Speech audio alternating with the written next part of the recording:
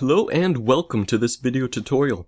This is Mark LaBarr at BlenderPassion.com and I will be showing you how to create this professional text animation using Blender. Some of the topics we will cover in this tutorial include text animation. We will also create node-based materials and animate them to get the desired fade-in effect. For some of the more complex animations, we will be using shape keys and drivers to gain better control over the animation. And finally, we will be covering basic graph editor interpolations to polish the effect. And on that note, let's get started. So to start off, we're just going to delete everything from the scene, add a text object, and change the font type to what I'll be using is Lane Narrow. There will be other font types available in the description below. And the text I'll be using is blenderpassion.com. So now I'll just start to add a simple material to it. But first I'll change the render to Cycles Render, and then go to the Screencast key add-on, enable that, and start the display. So then we'll create a new material, name it text, and add a mix shader, a transparency shader, and an emission shader. And we're just going to connect those up like that. And to the material output now. And you can see how that looks right there. Now I have default values for many of the things, so I'll just be setting the background color to 0.017.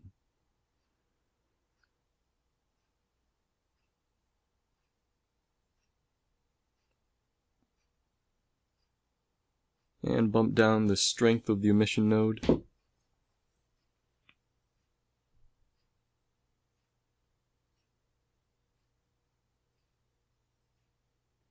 So now I'll go to the dope sheet editor and we're going to get ready to animate the text, or at least the material for it.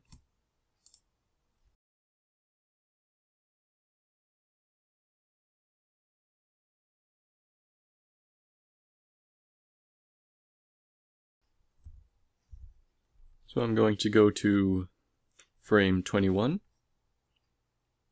and set the FAC value of the mix shader node to 0 and then add a keyframe. And then go to frame 36 and set the FAC value to 1 and then add a keyframe there. And then that will give us a nice fade in effect.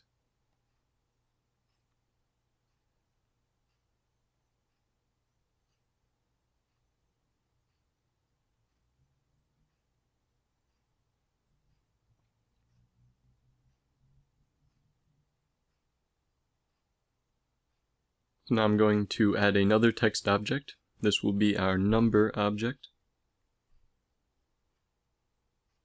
And then I will also change the font type of that.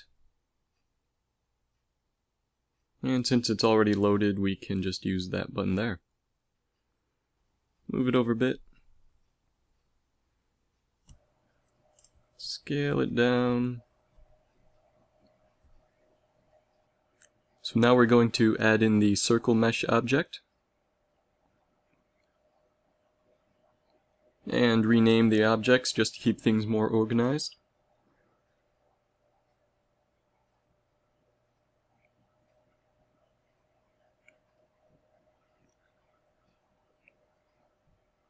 Scale that down a bit, move it over, and orient it right on top of the number.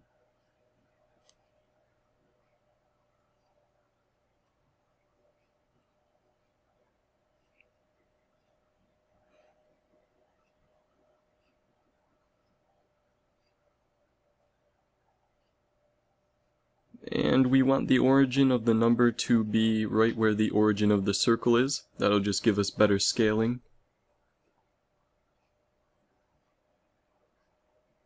Now we can add in our material for our number.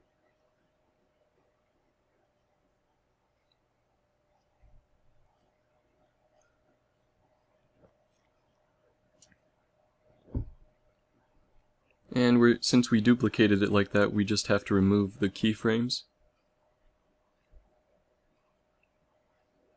We're going to change that to a nice green color.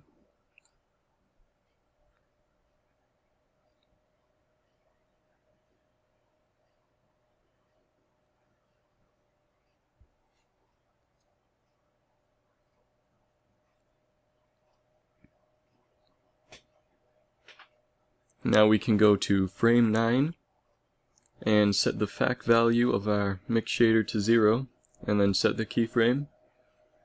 And then go to frame 14 and set the FAC value to 1, set the keyframe.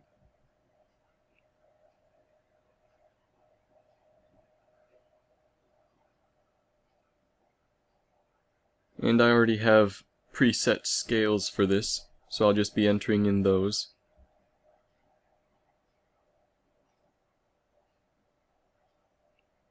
And set the keyframe for scale. Then we're going to go to frame 22 and adjust the scale values.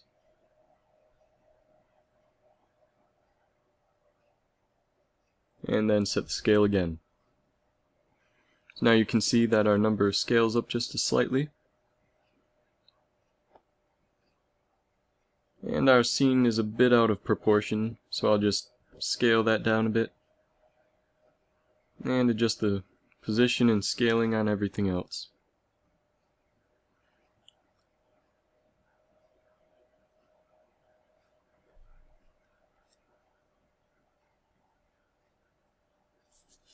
Now I'll just add in a camera, move it up a bit, set the to orthographic, and orient it so our text fits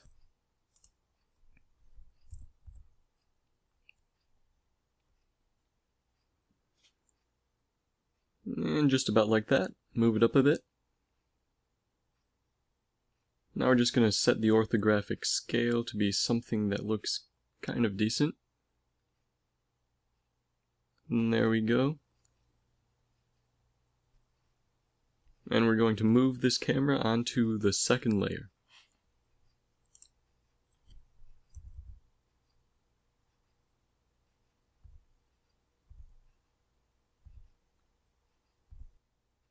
So now to get a more dynamic effect for our scaling, we're just going to change the interpolation of its graph.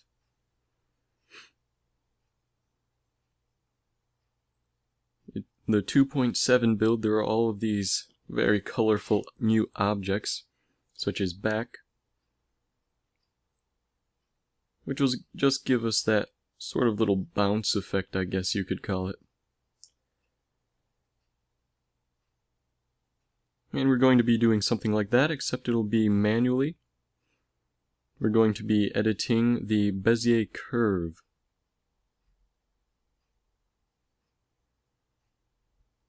So the important thing here is to make sure that you select all of the X, Y, and Z values. And the top handle, just rotate that and scale it up a bit. And that gives us a much more emphasized and exaggerated little bounce effect.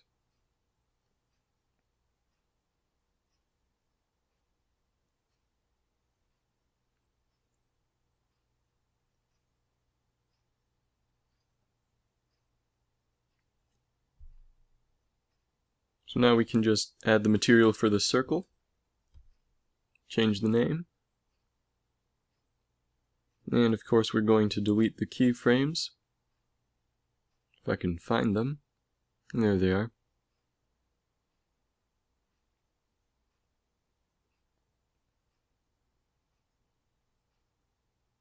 And I'm going to set the scale to a default, well not really a default, but an experimental value that I've used before. Just so things can move better without any experimenting in this video. So we're going to frame 7. We're going to set the FAC to 0, set the keyframe. And frame 8, set it to 1. So now I'm going to just tab into edit mode here. And press E to extrude. Scale that in a bit. And this will just give us a very nice effect. We want the inner ring to scale outwards as the entire circle scales out. So that's what we're trying to achieve here. So we're just going to add some shape keys to do that. And trust me, without adding these shape keys, it just has a very boring effect. But actually, we're just going to create another circle and change the vertices to 64. That'll just give us some better resolution. Now set the scale again. Now we can work with the inner ring here. So now we're just going to add some shape keys in here. The basis shape key. And another shape key that I will name shrink.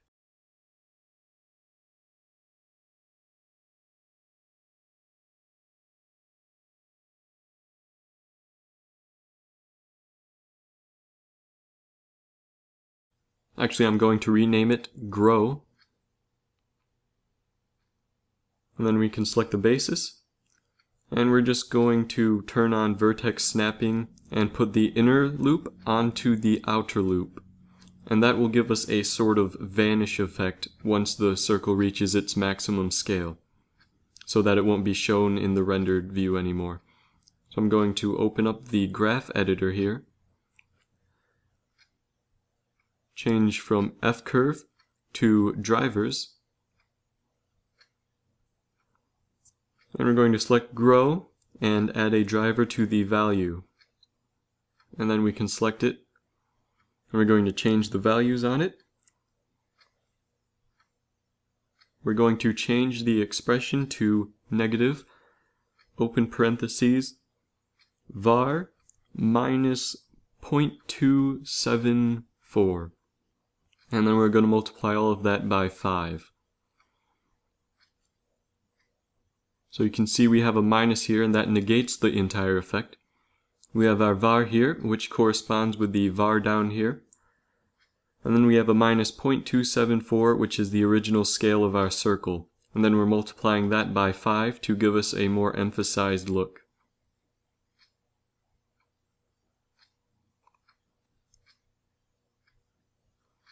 So now we can change the object to circle. Change the type to whichever scale. It'll work with either scale. And change to local space. So now you can see our value here should correspond with the value in our expression. So now as we scale, you'll notice no difference. However, we can fix that. Just tap in edit mode, Scale the inner loop back down again. Make sure you are on the grow shape key, and then you'll notice our scaling difference here. Has a nice effect.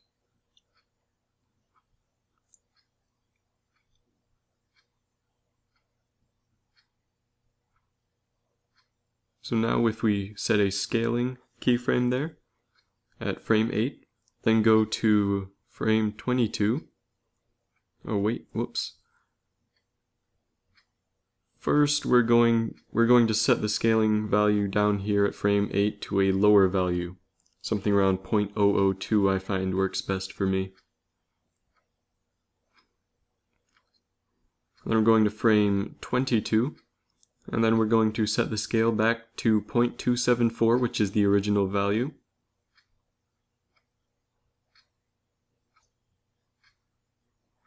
Save it.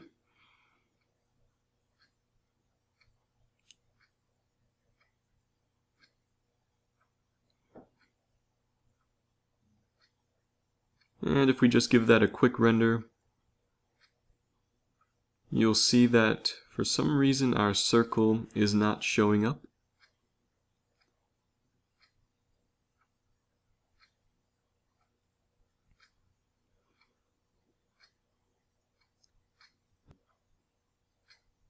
So apparently I forgot to set the scale keyframe at frame 22.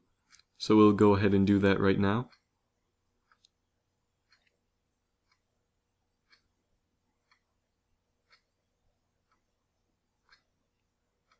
And then make sure you set the scale keyframe.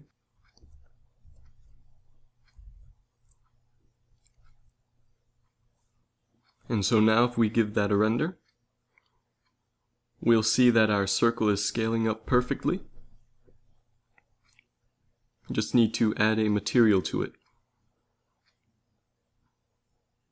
And then we're going to make that a single user material. And rename it And then we're going to find the keyframes that we've duplicated.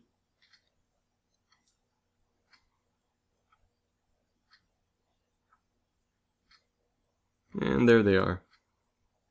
I'm just going to delete those.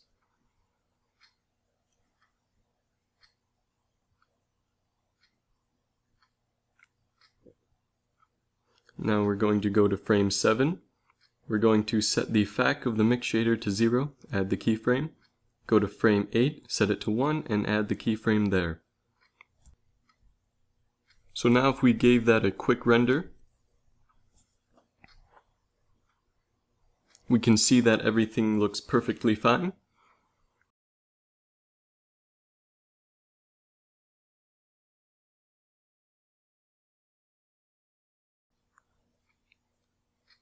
Now I'm going to show you how to create the header that I made. I'm going to add another text object, move it up a bit, change the font, and change the actual text.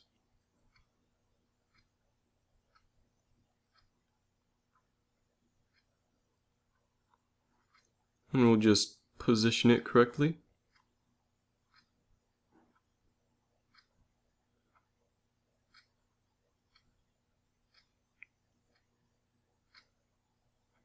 Now we can add the material for it. I'll just start over again so I don't have to delete the keyframes. Add a mix shader. An emission shader. And a transparent shader. And then we can just connect everything up. And to just bump down the strength a bit. I'm going to connect that to the material output. And then we're going to add a plane. And this will be covering our text. If you remember from the beginning, there was a sort of fade-in effect that the header used. So then we're just going to move this side over a bit.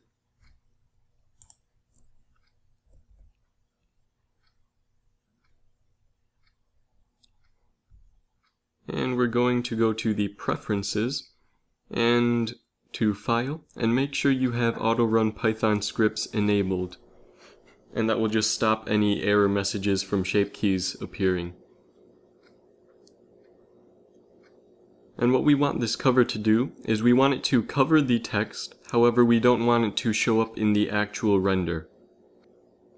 So as you can see our text is still showing up and that's due to something called Z fighting.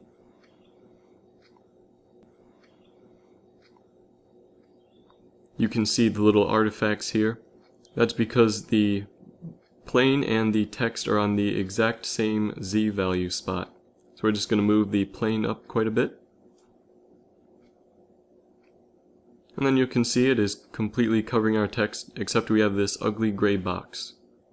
So we're going to fix that add a new material, and it's very simple to set up. Add a light path node, and connect the isCameraRay to the color input of our diffuse shader. And you will see that we're not rendering it anymore.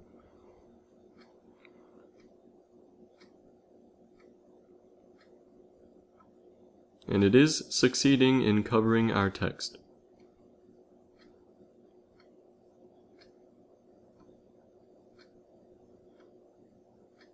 However, it's still not ideal. We want a sort of gradient effect to fade in this text, which node-wise is very simple to set up. However, theory-wise can be a little more difficult to someone who is new to the node editor. So we're just going to move that over. Well, maybe not.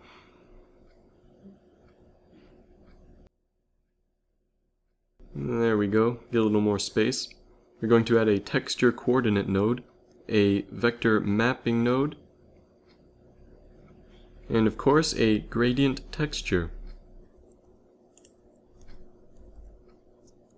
Now we're just going to connect those nodes up. Make sure you have grabbed the generated output from the texture coordinate.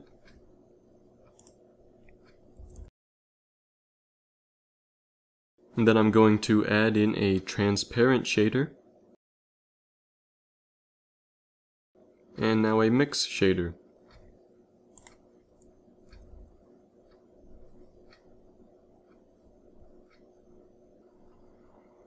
And connect that to the material output. Now we can see our gradient texture effect. It's still not ideal, but we are getting there. We want it to go to the other side. Just flip it around, I guess you could say. So we're going to put a small value into the X location and change the Z value to 180 degrees. So now you can see we have our desired effect. However, we do want more control over this gradient effect. So we're just going to move things over a bit, get a bit more room. And we're going to add in a color ramp node.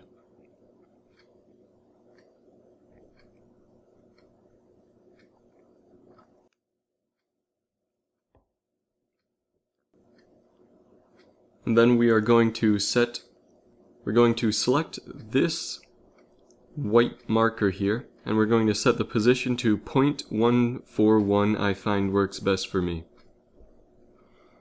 So then you can see we have our very nice effect here. The left line of our rectangular plane is now gone, and giving it a very nice and smooth gradient effect. However, we don't want all of this black box left around. So, to fix that, we need a value in the mix shader FAC input to change that. However, you can see that no numeric value will give us the best result. So we are simply going to take the output of the gradient texture and we're going to stick that right into the FAC value of the mix shader.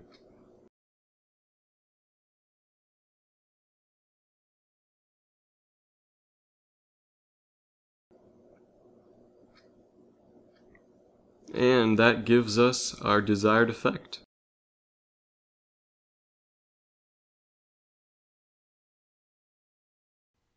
So we are pretty much almost done here. There are still a few things that we need to fix. I don't know if you can see it on my screen, but there is a slight black box around our plane. And to fix that, well, if you don't have that, then you can just skip this step. But if you do have it, just add in a converter color ramp node, add that to the node line here, and change the position of the black marker to 0.068, and that will just remove that black box there. So then we're just going to take this edge here and we're going to move that over until we can no longer see any of the text. And there we go. There's one more little thing we need to fix. It is the interpolation of the circle. As you can see, I have already changed it. I changed it from Bezier curve to a sinusoidal curve, and I find that sinusoidal works best. If you go any higher, the curve will be much too steep and it won't give you a nice smooth effect. So I'll just change that back to sinusoidal and that will just give us a nice easing effect on our scaling of the circle. Well, if this tutorial has helped you in any way, please subscribe. You can download the finished project files directly off of blenderpassion.com, and thank you for watching.